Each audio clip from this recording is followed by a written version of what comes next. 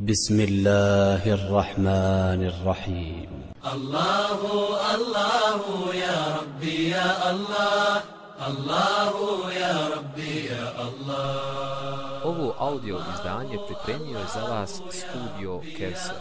www.kevser.eu الله الله يا ربي يا الله إن الحمد لله تعالى نحمده ونستعينه ونستغفره ونستهديه ونعوذ به من شرور أنفسنا ومن سيئات أعمالنا. من يهده الله تعالى فهو المعتد ومن يضلل فأولئك هم الخاسرون. وأشهد أن لا إله إلا الله وحده لا شريك له وأشهد أن محمدا عبده ونبيه ورسوله وصفيه من خلقه وخليله.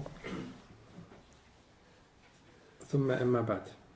رب اشرح لي صدري ويسر لي أمري واحلل عقدة من لساني يفقهوا قولي Mi smo došli do poglavlja koga je autor naslovio ajetom u kojoj kaže فَلَمَّا آتَا فَلَمَّا آتَاهُمَا صَالِحًا جَعَلَ لَهُ شُرَكَاءَ فِيمَا آتَاهُمَا فَتَعَالَ اللَّهُ عَمَّا يُشْرِكُونَ I kada im je on darovao zdrava potomka, njih dvoje su izjednačili druge s njim u onome što im on daje, pa neka je uzvišen Allah i daleko od onoga što mu pripisuju.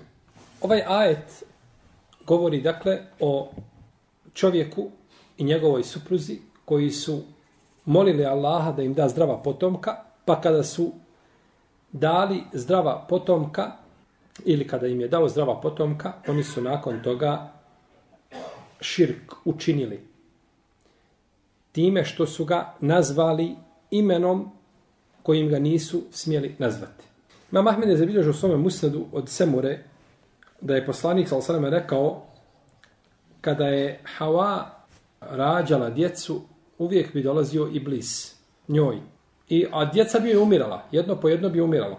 Pa je jedne prilike došao i rekao daj mu ime Abdul Haris, rob Harisov, pa neće umrijeti. Pa mu se pokorila, pa je dala Abdul Haris, pa je ostalo dijete živo. I to je bila šeitanska, znači objava kome? Hawi. Hawi, jeli, našoj majici. Kaže vam Tirmizi da ovaj hadis Hasan, a Hakim kaže da je vjerodostojen. Pa se vidi, znači, od ovoga hadisa da je Hava izjednačila Allahu druge onome što daje. Znači, nazvala je dijete imenom kojim nije smjela šta? Nazvati. Ali ispravno da je ovaj hadis daif. Ispravno da je hadis neispravan. Ibn Hajar ga ocenio neispravnim i tako ga ocenio Ibn Hazm prije njega, Ibn Kethir i Šejh Albani i druga ulema kažu da je hadis neispravan. U njegovom lancu prenoslaca ima ravija koji se zove Omar ibn Ibrahim a, El Basri koji je bio nepouzdan kako kaže Ebu Hatim Razi. To je jedna mahana ovoga hadisa. Da ima u njoj ravija za koga su neki hadijski stručnjaci kazali da je šta? Nepouzdan. Druga mahana je to što ova se predaja prenosi kao riječi semure, a ne kao riječ šta? Poslanika, sallallahu sallam. I to je poznato kod hadijskih učenjaka i stručnjaka kada dođe do neslaganja između riječi koje se pripisuju poslaniku sallallahu ili ashabu. Znači ne zna se da li su to riječi poslanika sallallahu ili riječ šta? Ashaba. Jer su mnoge ravije pogriješile u pripisivanju određene predaje kome? Poslaniku sallallahu Zašto? Vi sjedite ispred jednog učenjaka koji govori hadise. Pričao mi je taj od toga, od toga, od poslanika, sallallahu da je rekao tako, tako i tako. Pričao mi je taj od toga, od toga, od toga, od poslanika, sallallahu da je rekao tako. I spominjam stotinu hadisa. I ljudi pamte. I jedan put kaže, pričao mi je taj i taj od toga, od toga, od Ibnu Abasa da je rekao, pa spomine riječ Ibnu Abasa. I ti onako mehanički okreneš riječ Ibnu Abasa i pripišeš i kome? Poslaniku sallallahu Zato što stalno slušaš šta? Hadise. Pa pogriješiš i pripišeš taj hadis, odnosno tu izreku, taj eser, pripišeš kome? Poslaniku sa osam. Jel u redu? Odatle je nastajalo šta? Ovaj. I zato oni kažu u lema, zato kaže selek jel džad. taj je džada kod nas. Kakav put? Glavni put, širok, glavni put. Kaže, on je odletio na glavni put. Kuda na glavni put? koji vodi kuda? Ka riječima poslanika sa osrme. Kaže, selekel džade. Odletio je na glavni put, a u stvari to nije na glavnom putu, nego je to a, sporedni put, nego to su riječi koga? Ashaba. Razumijete gdje, kako je došlo do toga? Mi se ponekad pitamo, da li su to riječi ashaba ili su riječi koga? Poslanika, sallallahu sallam. Kako je došlo do te nejasnoće i kako su ravije pogrežene na ovakav način? Sluša, sluša, sluša i onda kad ili prenese tamo nekome drugom i sluša od toga od Ibnu Abasa i ovaj, dok je spomenut Ibnu Abbas, misli odmah da je to šta? Hadis. A u stvari nije bio hadis. Ili može biti da se čovjek zbuni, pa da pomiješa i sve o tome. Uglavnom, ove su riječi prenešene kao riječi koga?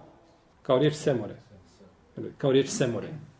Pa je, znači, to prenošenje jedne prilike jednom od ashaba, drugi put od poslanika, sa samo po sebi šta? Problematično. Ne mora značiti. Ponekad može biti prenešeno i u jednoj i drugoj formi.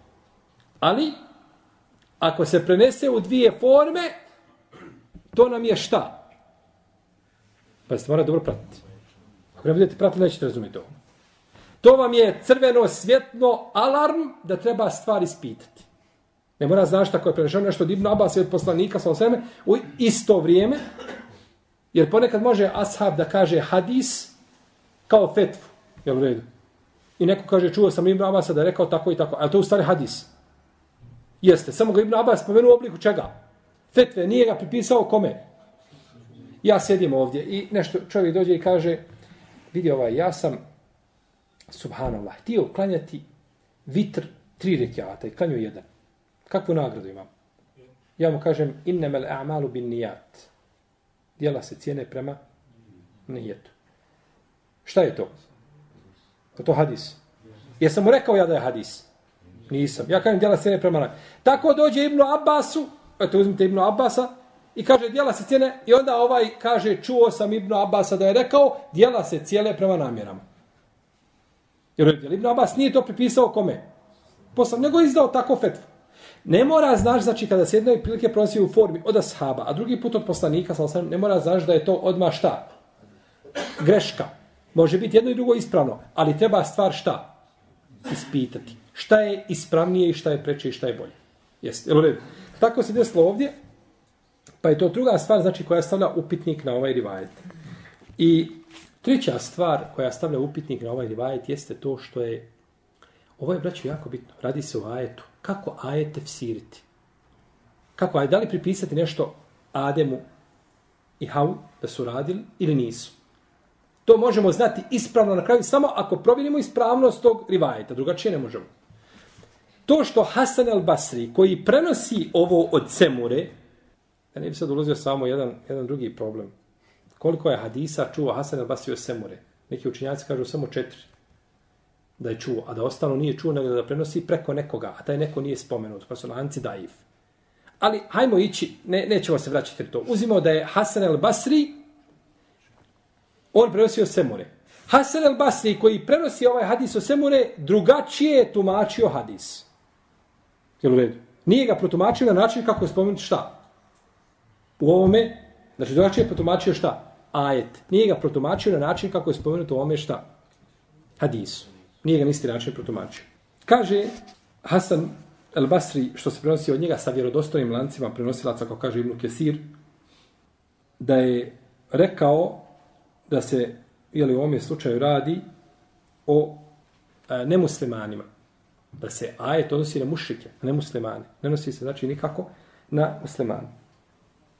Dobro. Zamislite Hasan al-Basrija, čuo hadis, čuo od Semure, od poslanika, sa da je rekao da je to Hawa, da je ona tako postupila. I onda kaže, ne, nije to Hawa, iako je to rekao poslanik, sam nije to Hawa, nego to, je, to su bili mušici. Može to biti tako.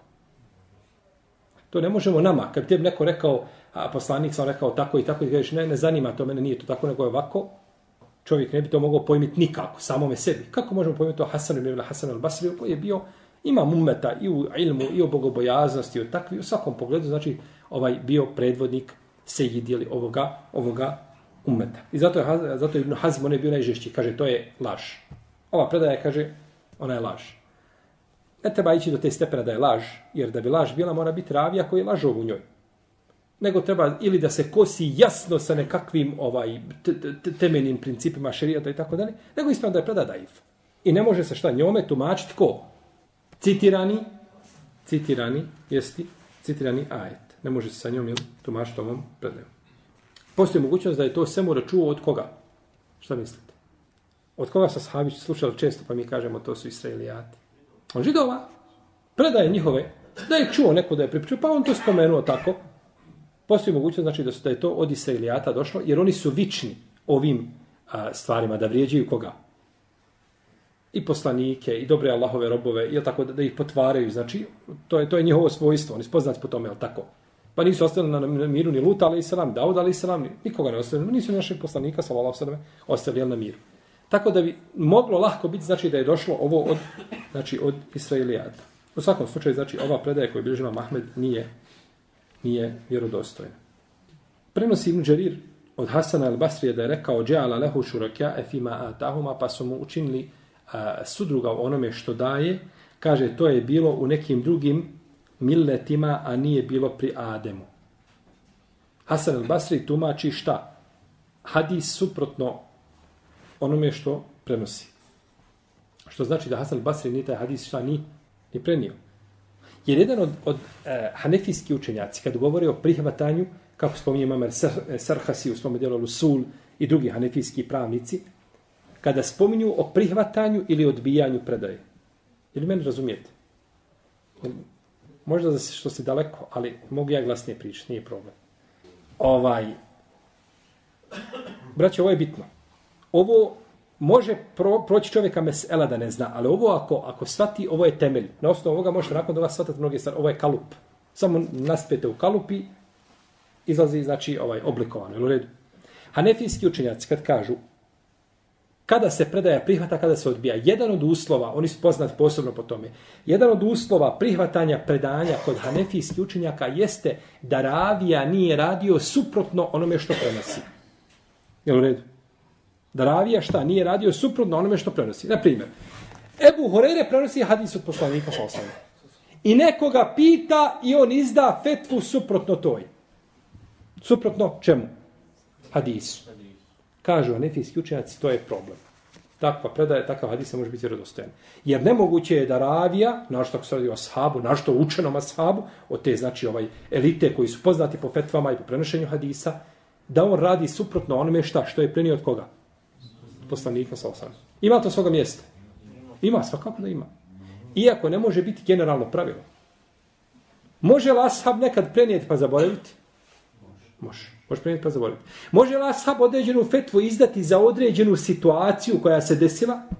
Jeste hadis ovako, ali je ovdje sada došlo, ha, Omer radijallahu ta'ala je, znači, u određenim slučajima, znači, izdavao fetve koje su, koje bi mogle ličiti da su a, suprotne onome što je došlo, jel tako, u šarijetu. Iako nisu, nego izdao, znači, za tu situaciju i za taj moment i u datom trenutku jer je bilo potrebno da bi se spriječilo šta veće, jel tako zlo.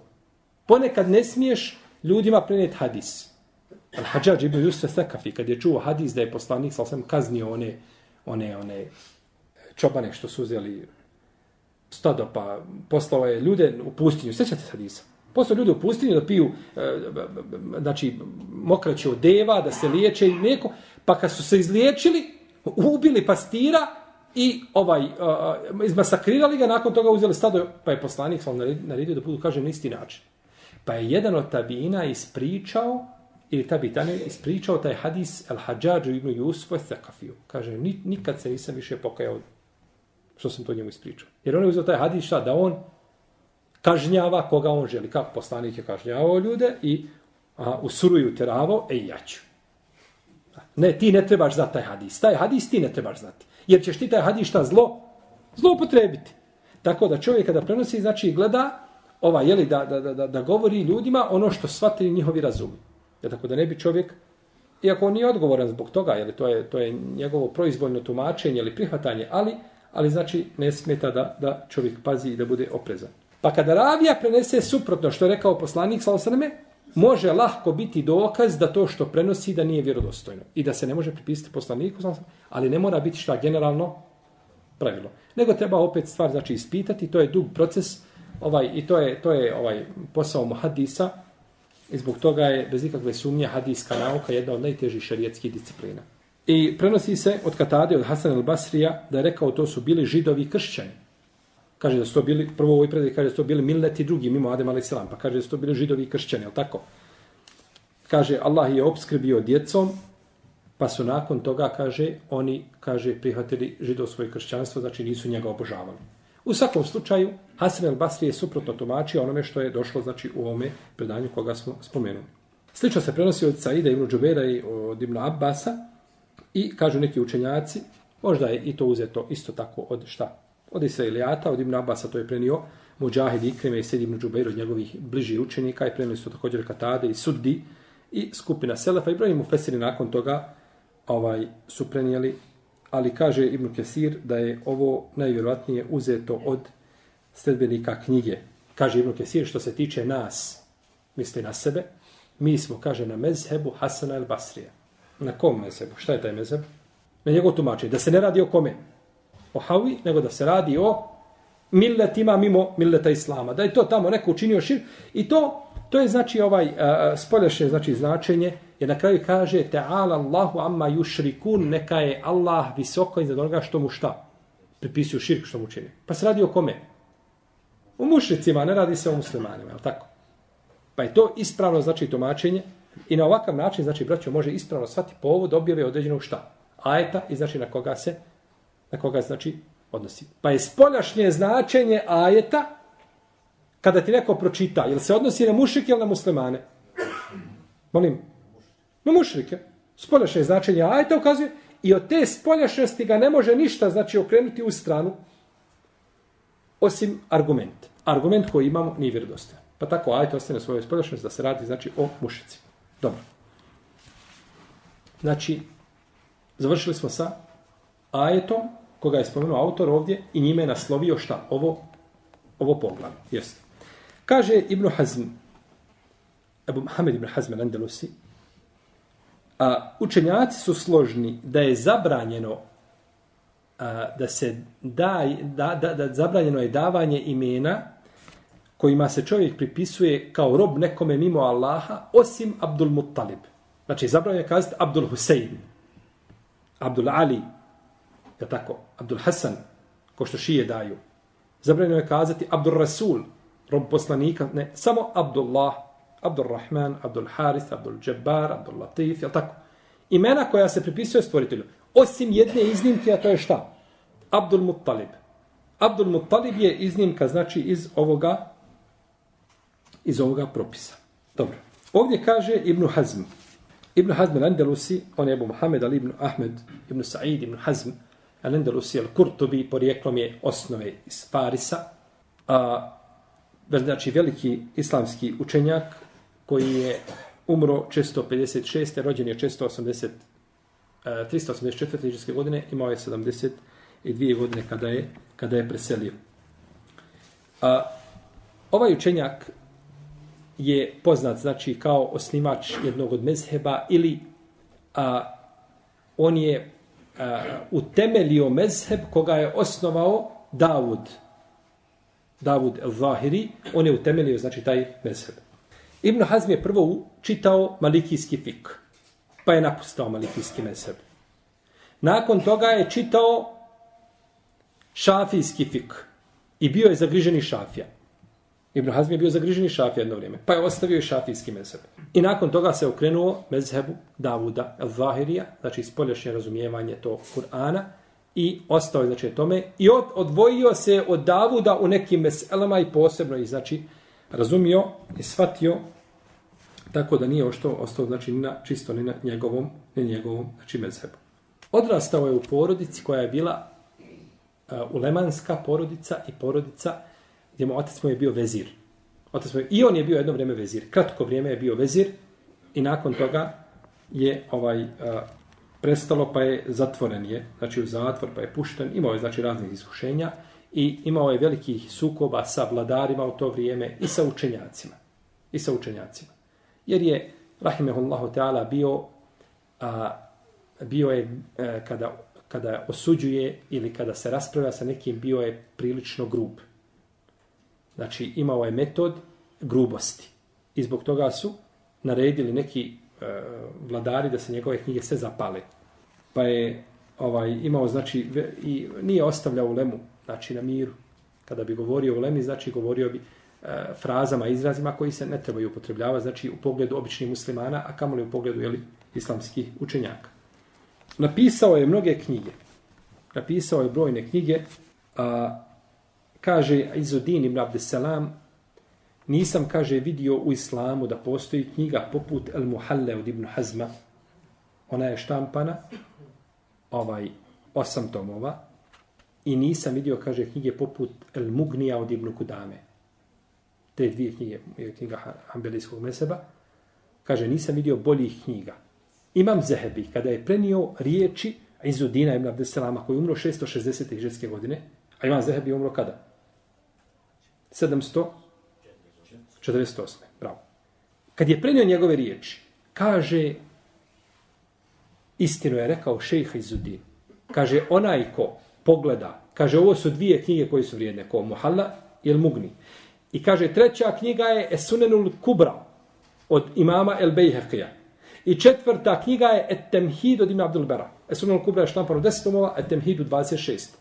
Kaže, ko pogleda u ove knjige i bude ih dobro izučio i shvatio što je u njima, fehuva alimun haqqan. On je, kaže, pravi učenjak. Četiri knjige. Koje? Muhalad ibn Hazba, Mugni od ibn Kudame, Sunan Kubra od imama Al-Bihaqija i Temhid od Ebu Amara ibn Abdul Bar. Četiri knjige koje imam Zahebi spomenuo i među njima je šta? Znači, pa možemo kazati da je Muhalla da je to knjiga Islama koju je napisao ovaj velikan Ibn Hazm, rahimehullahu ta'ala. Pa čovjek se ne mora složiti, jel tako, sa svim što je napisao Ibn Hazm, ali Ibn Hazm znači ostaje veliki imam ovoga umeta i nema sumnje da njegovu znači vrijednost ne poriče niko osim onaj ko ne poznaje Ibn Hazma. Njegova najveća knjiga je Isal, El Isal, koja je štampana na pet, koja je napisana na 15.000 stranica. To je najopširnije njegovo djelo koje je napisao, El Isal. I da je, to knjiga, da je ta knjiga kojim slučajem došla do nas, bila bi knjiga Islama. Ali nije nego izgubljena. Ta knjiga je znači izgubljena, nije došla do nas osim par stranica.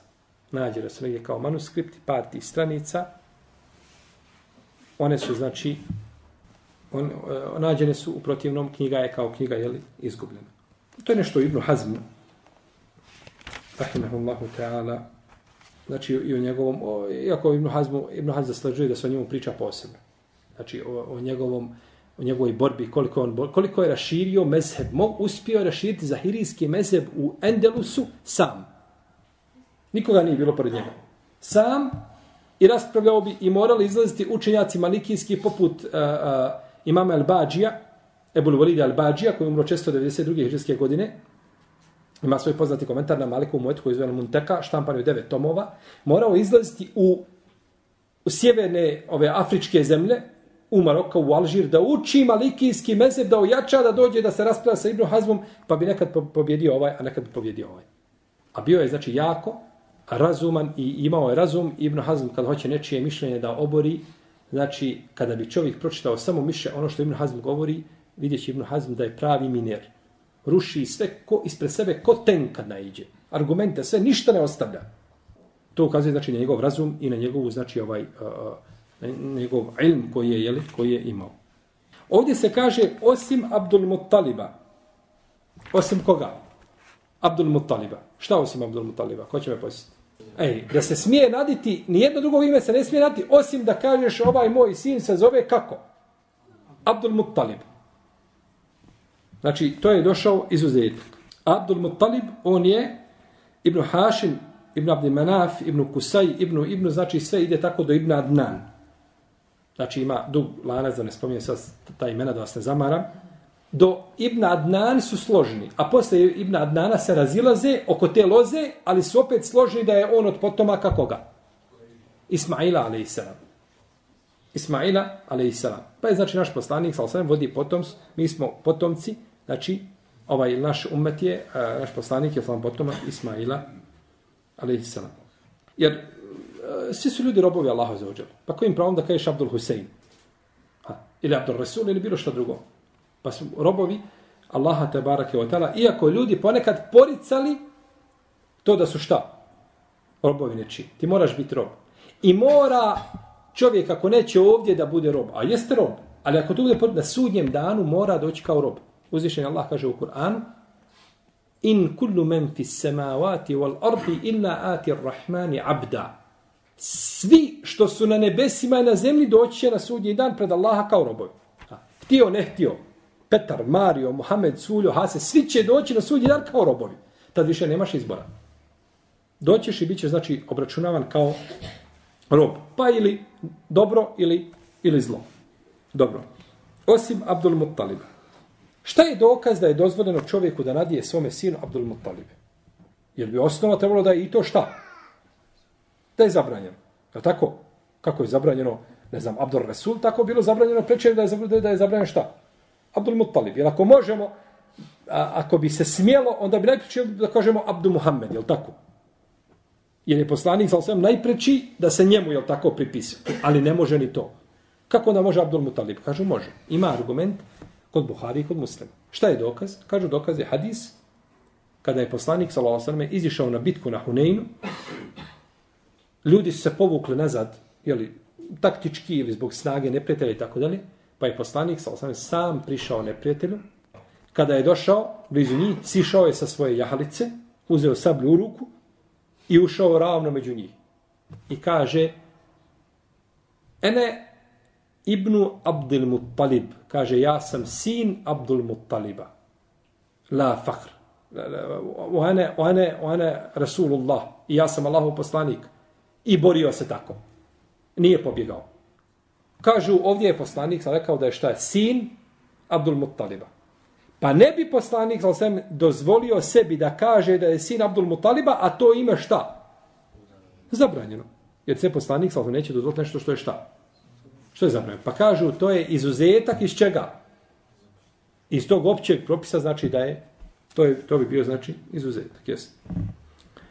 Ispravno je da taj izuzetak nije ispravan. Taj izuzetak ne može šta? Proći. Ovo govorimo jezikom učinjaka koji su šta? Dozvolimo. Poslanik sa osam kada je rekao da je sin Abdul Muttaliba, je li htio potvrditi ispravnost davanja takvih imena ili je govorio o svojoj stvarnosti? O stvarnosti. Ja sam sin Abdul Muttaliba. Njem, je li njegovom djedu bilo ima Abdul Muttalib? Je li ga može poslanik sa sam promijeniti? Ne može. Pa kaže, ja sam sin Abdul Muttaliba. On govori o stvarnosti koja je šta? Tu, znači na terenu. Govori o svome porijeklu, a nije ničim ukazao da je to dozvoljeno. Nego naprotiv, znači, argumenti ukazuju na zabranu. I kako je zabranjeno da se da ime, ne znam, Abdul Rasul, tako je zabranio Abdul Mutalib. Nikakve razlike nema. A to što je poslanik sam rekao, ne ukazuje ničim na dozvolu. Ne ukazuje ničim šta? Kao hadis da će doći vrijeme kada će, uh, ovaj ne znam, biti mir na zemlji. Kaže da će dvije žene putovati same iz Jemena do krajnjeg sjevera. Neće se bojati nikoga osim Allaha i vuka za svoje stado. Je to dokaz da žena može putovati bez mahrema? Pa oni ka, neki kažu jeste. Ma ne govori poslanik o mahremu, jer, priča o mahremu? Nema veze sa mahramom. On, poslanik, sa sam govori o čemu? O stanju. I da će dvije žene moći putovati i da se neće bojati zato što su žene slabe. Muškarci se ne boje, je tako?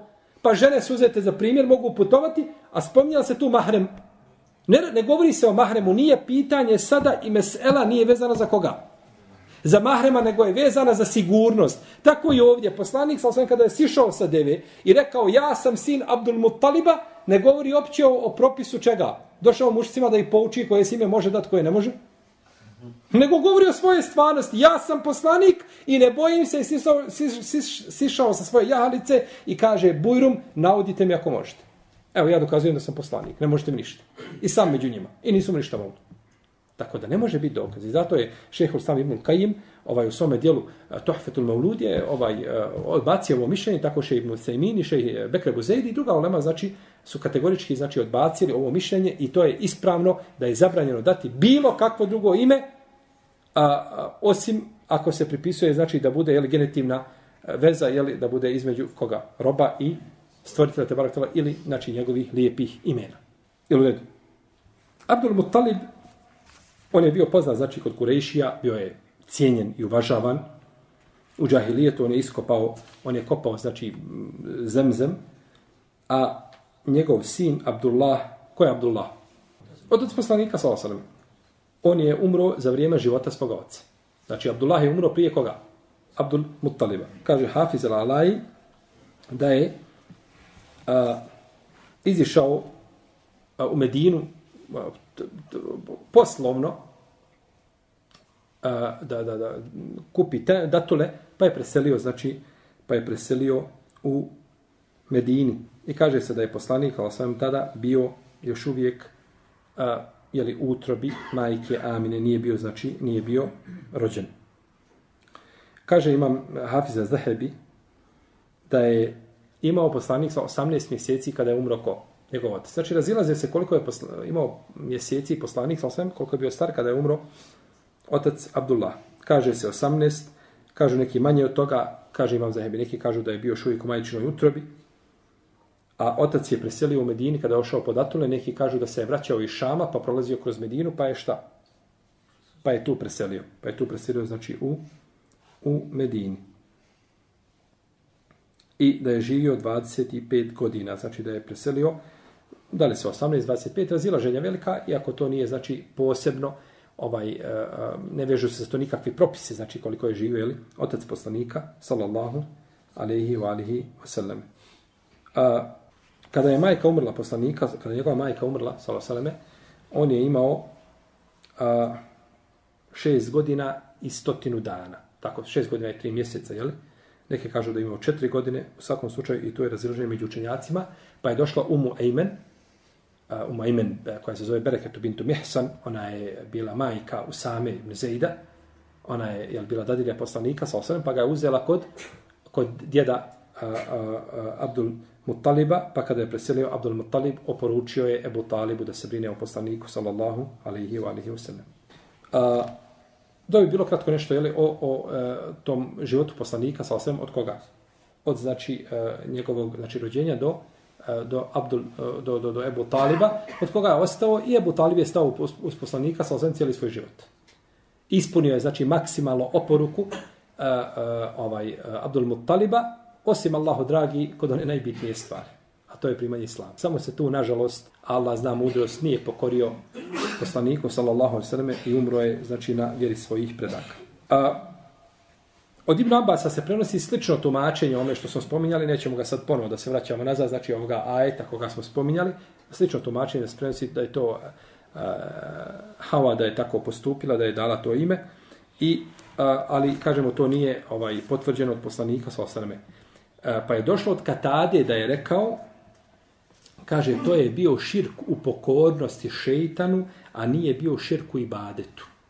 Sada govorimo o tome da su da je to šta bila Hava. Hava da je dala to ime. To je bio širku kom segmentu? Pokorili se. Samo se pokorili šeitanu u tome, ali nisu time ciljali šta? Znači ibadet im da se pok... Nego su znači htjeli da im dijete šta? Preživi. Pa će im da to ime. A nije znači nikako im bilo cilj znači da a, pripišu da je neko drugi a, rob, znači, a, a, a, je rob nekom, nekome drugom mimo stvoritelja te barake i autor je ovaj e, kazao da je to mišljenje znači ovaj lijepo, znači to je lijep način, lijepo tumačenje ove ovoga predanja. Da nisu oni ciljali time klasični širk, nego da je to bio znači širk u pokornosti šejtanu da bi dijete ostalo šta? Da bi dijete ostalo živo. Kao što je nagovarao ovaj hele duluku mala šeđereti il huldi mu mulkin la jebla. Hoćete li kaže da vam ukažem na drvo vječnosti i vlasti koja neće proći. Pa su se znači pokorili, znači, ha, da bi dobili znači nekakvu korist. A nisu znači time željeli šta? Pravu znači nepokornost, stvoritelju ili te barak ili oholosti slično tome. Jer je Adem a.s. bio ohol kada je to učinio? Nije, nego je pao pod utjecaj šeitana. A ko je bio ohol? Bio je šeitan koji se nije htio pokoriti, jeste. Kala ene hajrun min, minhu, halekteni min narin, wa halektehu min tim. Ja sam bolji od njega, mene stvorio od vatre njega od zemlje i nije htio. Eba ovo stekber, odbio i uzoholio se. Pa on je bio ohola, nije Adem a.s. Ali kada bismo došli do ovoga, onda ćemo tumačiti da je to bila šta pokornost u, znači, u, da je to bila samo znači, širku pokornosti, a nije bio u ibadetu stvoritelju, jeli, te barake, o teala. I o, u tom kontekstu, jeli, katadine riječi ove, to je bio širku pokornosti, a nije u ibadetu. Ovdje je nekoliko mesela autor spomenuo. Prvo je da je zabrana davanja imena, znači nekome drugom, da se pripiše osoba, znači nekome drugom, mimo stvoritelja Tebara Keotala, da kaže rob ovoga ili rob onoga ili rob ovoga, znači to ne može nikako, to je zabranjeno. A, imamo tefsir ajeta, a, koga smo znači jeli, spomenuli. A, imamo da je ovdje širk bio u pukom davanju imena, a ne u stvarnosti. Širk je bio u pukom davanju imena, a nije u čemu? U stvarnosti, znači da je čovjek uzeo božanstvo mimo stvoritelja te barake, je teala.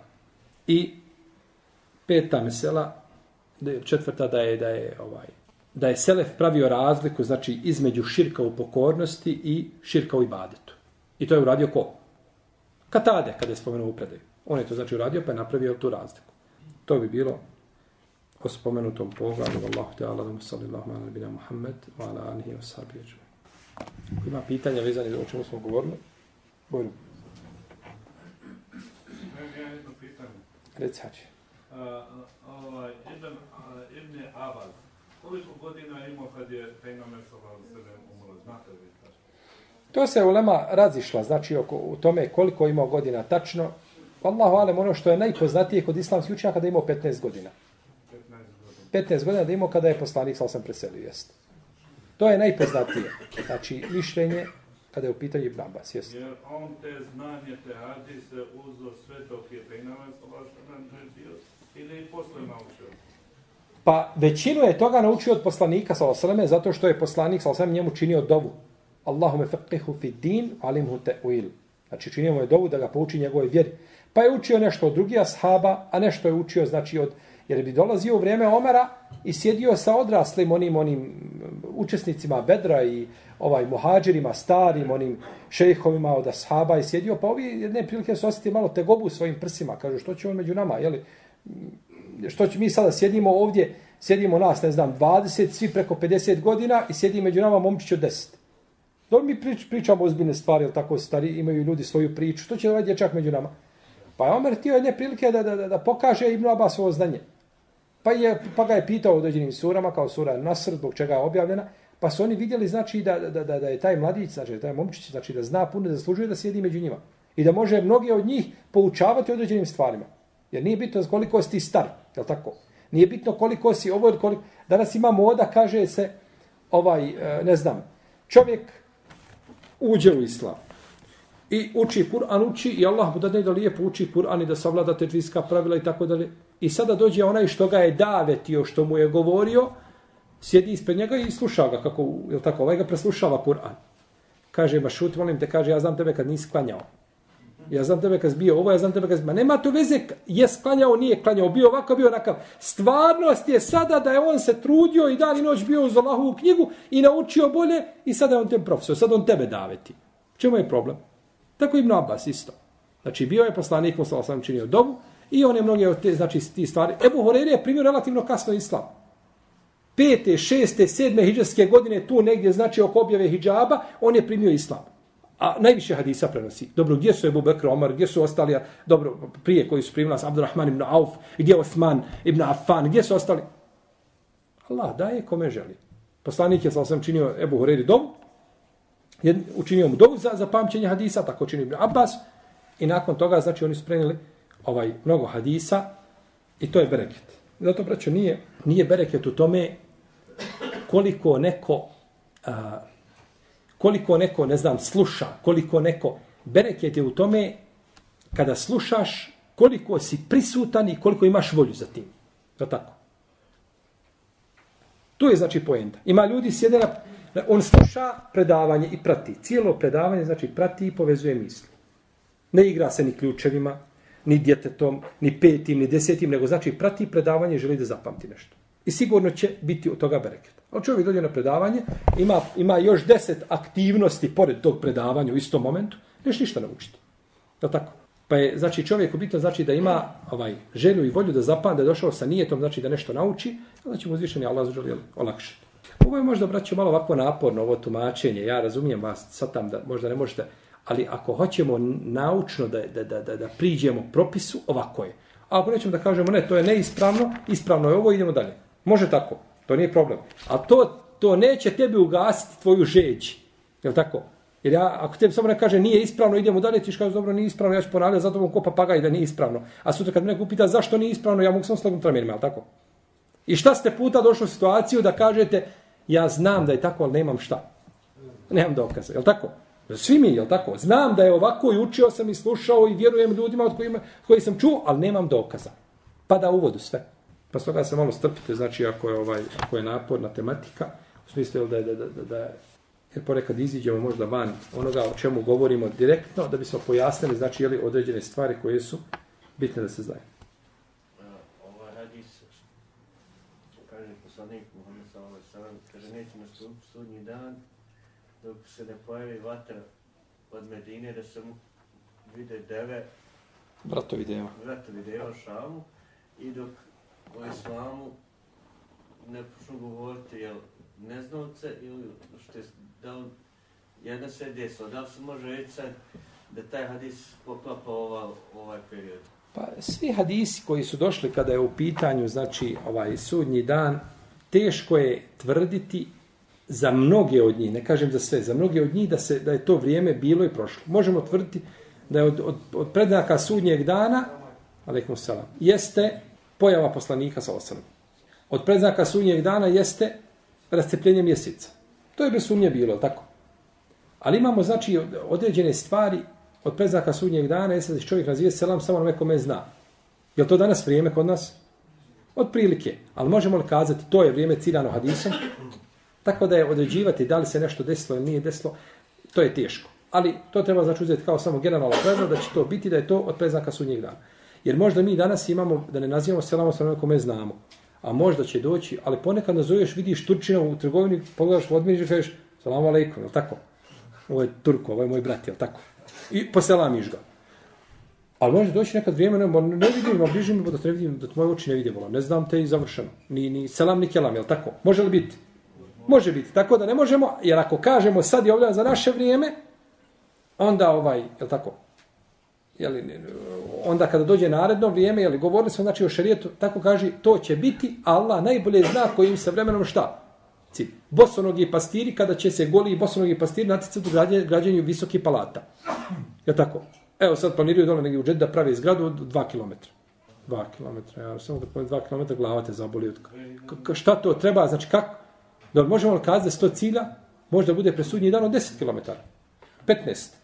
Ne znamo, znači, ali je od preznaka sudnjeg dana da će se ljudi graditi u naticanju visokih čega? Zgrada. Zato je gradnja visokih zgrada je zabranjena. Zgradnja visokih, visokih zgrada je zabranjena. Znači, zato svako ko, ko ima kuću na dva sprata treba šta? Jedan sprat treba građenje, braćo, zabrana građenja visokih se zgrada odnosi bespotrebna. Ali ti napraviš kuću na pet spratova, kažeš, jedan sprat ću dati da bude mom babi mami. Jedan sprat ću dati da bude imam i Amidžu siromašnog i on tu stanuje. Jedan sprat ću dati da bude škola Korana u njoj, jedan sprat ću ja stanovati, a jedan sprat za moga sina. Haram? Nekve smetje. Da je, da je sto spratova. Ali je problem kad praviš, napraviš sobu, primaća soba, 300 kvadrata. Dok je pregledaš tamo na drugi, glava te zaboli. Znate li da, da u arapskom svijetu danas ima soba, Dijete ima sobu za spavanje, sobu za igranje, sobu za jelo, sobu za odmaranje, sobu za, ne znam, fiskulturu, sobu, ona samo ima 10 soba. Dijete ima 10 soba svoji. Babo ima svojih 8 soba, majka ima svojih 6 soba. Soba za frizuru, soba za ovu, soba za... To je, znači, to ta gradnja koja je zabranjena, jer je to ras, rasipništvo, tako? Može čovjek živjeti, jel tako, jednim lijepim, umjerenim životom, ali bez, znači, čega? Bez rasipanja. Yes. Bez preterivanja. Bez pretjerivanja, jesto, bez, bez potrebno. Napraviti sebi kuću, živ bio, ima i sve što treba. Ima i ti i lijep prostran boravak, se nije to ništa sporno. Ali je sporno da praviš nešto što vidiš da ne trebaš ili da ti to previše. Je tako? Nego znači praviš zidine samo džinima, je tako? Da borave u tim sobama i u tim prostorijama, a da se taj novac okrenuo negdje, znači gdje je potrebnije, to bi ti bilo ili bolje. Jeste. Ja imam stan 40 kvadrata, mene dosta ženi. Još ima. Pa uh, hađija moj, Allah te poživio. Znači, a, ponekad je dobro poslušati ženu, znači radi, radi mira u kući, Se poslušati. dogovorim na Jeste. toliko dovoljno. A sad nije mu dovoljno. Pa eto. Sin Ademov, kada bi imao dvije doline zlata, poželio bi treću. Što me nema kraja. To je priroda čovjeka. Jes. Jednu reč nisam te razumio na početku, kad si pitao Doba, e, koga on slušao, ko, koga uzeo od iste, kako ono reći, od sa, a kako se imali? Semure, šta, što to znači? To Semure. sam čuo. To je ashab. Ashab. Semur ibn Džundup, jes, to je ashab poslanika. sa osam. On je Semure, znači tako se je zvao. To smo spominjali. To je ime Semur. Jeste Semur. Semur ime. Studio Kevse pripremio je za vas širok izbor audio i video izdanja islamskog sadržaja. Potrebne informacije možete dobiti na kontakt adresi Kellergasse 12 4020 Linz, Austrija ili na web portalu www.kevser.eu Allahu ya Rabbi ya Allah